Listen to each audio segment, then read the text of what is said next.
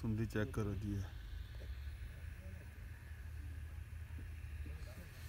ਇਹ ਨੂੰ ਸੁੰਡੀ ਆ ਗਈ ਏ।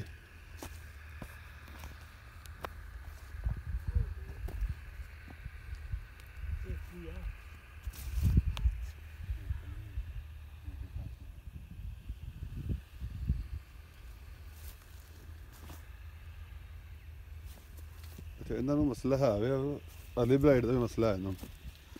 ਨਾ।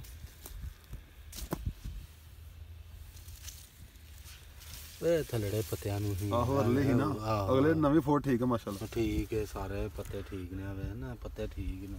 ਇਹ ਪੁਰਾਣੇ ਪੱਤਿਆਂ ਨੂੰ ਰੋਗ ਨੇ। ਉਹ ਅਰਲੀ ਬਲਾਈਟ ਸੀ ਨਾ ਜਿਹੜੇ ਨੇ ਉਹ ਅਲਹਮਦੁਲਿਲਾ ਕਵਰ ਹੋ ਗਈ ਉਹ ਸਪਰੇ ਨਾਲ ਪਿਛਲੀ ਨੂੰ ਫਿਰ।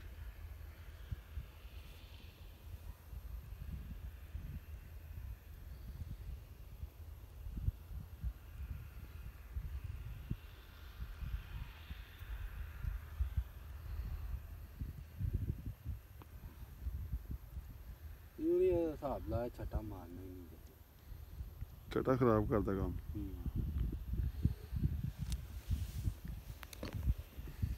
ਹੈ। ਨਾ ਜਿਵੇਂ ਜਿਵੇਂ ਉਹਨੇ ਖਿਲਾਰੇ ਆ।